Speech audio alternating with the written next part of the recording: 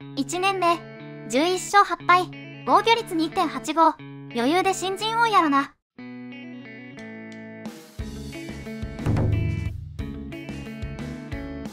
ライバルがすごすぎた。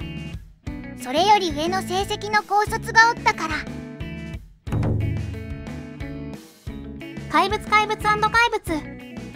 まだ29の西口がおっさん扱いされてエースを下ろされてしまうのも納得の成績。原に説教されてるのしか思い出せない。結構2桁勝ってるイメージあったけど1年目の11勝しか2桁勝利上げてなくてびっくりした。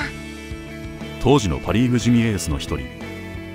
普通の容姿普通の体型から繰り出される普通の投球フォーム。3勝15敗のインパクトが強すぎる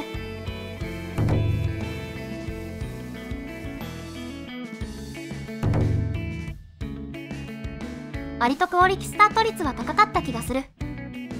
グランド地味エースとかいう称号地味界の中でもさらに地味な扱い。岩本以上になんでエース言われてたのかわからない選手。加藤真一とか金田正彦や小林宏がエースと言われてもピンとこないんだよな。なんでや4勝9敗2.50でタイトル取った金田はエースやろ。入団してから合併までの6年間で勝ち頭3年だから立派なエースと言えるラビット全盛期に投げていたから思った以上に成績が悪いというのはあるかも。作越さんとかいう別称に近い相性パワプロでは使いやすい投手やったな。